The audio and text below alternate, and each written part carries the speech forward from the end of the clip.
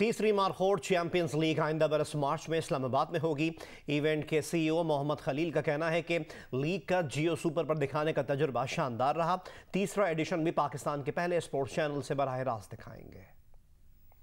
लाहौर में मोहम्मद खलील ने दीगर मुंतजमीन की हमरा न्यूज़ कॉन्फ्रेंस में बताया कि तीसरी मार्को चैंपियंस लीग अगले बरस मार्च में रफ़ी स्टेडियम इस्लामाबाद में होगी। उन्होंने कहा कि इस लीग का मकसद टेप बॉल क्रिकेट को फ़रोग देना है। इससे ग्रास रूट लेवल से टैलेंट सामने आएगा और नौजवान सेहतमंद सरगर्मी में हिस्सा लेंगे। इवेंट में चौदह टीमों को दो पोल्स में तकसीम किया जाएगा।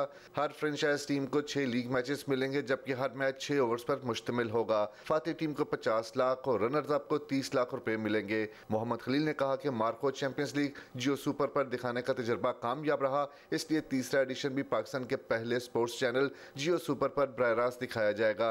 इवेंट बर नशर होने की वजह से मार्को चैंपियंस लीग और टेप बॉल क्रिकेट को फ़रोग मिला है। जियो सुपर से ये हमें फ़ायदा हुआ कि हमारी जो स्ट्रीट क्रिकेट थी, ये दोबारा रिवाइवल हुआ इसमें। बच्चों ने दोबारा खेलना शुरू किया क्योंकि हर बंदे को एक शौक होता है कि वो टीवी के ऊपर आए, अपने नेशनल टीवी के ऊपर आए और अपने आप को वो दिखाए। तो ये एक बड़ा अच्छा इनिशिएटिव था जो हमें अचीव हुआ।